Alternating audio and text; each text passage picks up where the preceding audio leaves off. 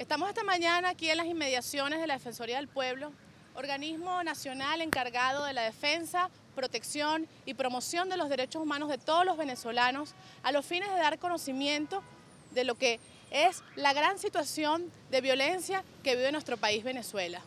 Como es sabido por todos, en el mes de marzo se presentó la memoria y cuenta en la Asamblea Nacional por parte del vicepresidente encargado de la presidencia reconociendo oficialmente las cifras de violencia que cerraron en el año 2012.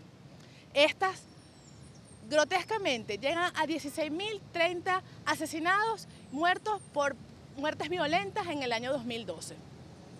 Esta cifra lo que nos muestra es un aumento de la tasa de las muertes violentas en Venezuela, pasando a ser un país con una tasa de 56 asesinados por cada 100.000 habitantes una de las mayores tasas en América Latina y en el mundo. Señores, en Venezuela cada media hora muere un venezolano. Estamos aquí, son las 11 de la mañana y a lo que termina el día, 48 venezolanos habrán perdido su vida en manos de la violencia en Venezuela. En estos 100 días que van de gobierno eh, por parte del presidente, del vicepresidente encargado de la República, la situación no ha cambiado y podemos decir que ha empeorado. Los meses de enero, febrero y lo que va de marzo han sido meses violentos. El mes de febrero, un mes que es corto, que solamente tiene 28 días, fue el más violento. El más violento en cuatro años, por lo menos en Caracas. Más de 492 muertos ingresaron a la morgue de Bellomonte. Más de una aproximadamente 500 venezolanos muertos en menos de un mes. Estas cifras, señores, lo que nos muestran es la violencia generalizada. Y estamos aquí no solamente para hablarles de esta cifra que ya seguramente ustedes conocen y viven, porque ese, ese muerto, que muere, esa persona que muere cada 30 minutos en Venezuela, puede ser un familiar, puede ser su hermano, puede ser su padre, puede ser su mamá, puede ser usted, mismo. Estamos aquí para evidenciar una situación inusual, una situación de incremento de la muerte a manos de la delincuencia de más mujeres. Ahora estamos viendo en este año, como nunca hemos visto, las cifras delictivas que están siendo protagonizadas por las mujeres. En el mes de febrero solamente entraron a la morgue de Bellomonte 23 mujeres, un mes sumamente violento. Y este mes, en el mes de marzo, la primera semana de marzo, donde tuvimos un país enlutado con una provisión de armas, con la seca, donde el Estado había un despliegue de seguridad nacional, en menos de una semana, seis mujeres fallecieron en el área metropolitana.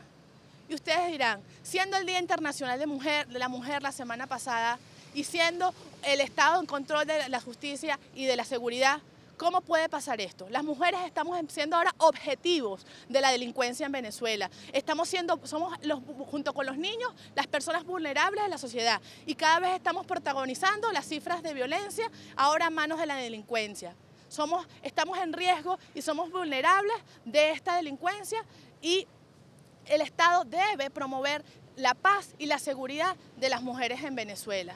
La impunidad reina en Venezuela, eh, mientras que el, gobierno actual se ocupa de promesas electoreras y un proceso electoral y de permanecer en el poder, más venezolanos siguen muriendo y las mujeres empiezan a protagonizar las cifras de las violencias.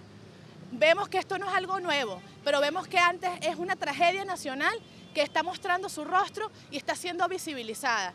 Y pedimos que todos tenemos que tener conciencia de que esto debe ser resuelto. Y entonces la promesa ahora es que ahora sí viene la ley de desarme y que ahora sí vamos a resolver el tema de la seguridad.